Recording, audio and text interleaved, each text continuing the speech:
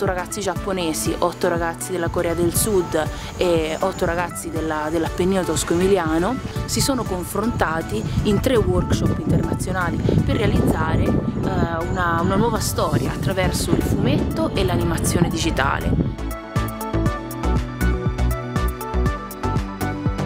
Garfagnana con Giuseppe Panummo e della sua collaboratrice eh, Keiko Ichikuchi stiamo eh, elaborando una serie di, di fumetti andando, andandoli a fare direttamente nei luoghi eh, che sono stati scelti come, come background.